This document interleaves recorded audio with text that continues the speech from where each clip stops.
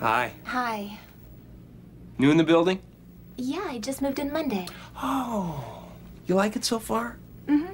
Everybody's been real nice. Well, that's because you have big jugs. I mean, your boobs are huge. I mean, I want to squeeze them.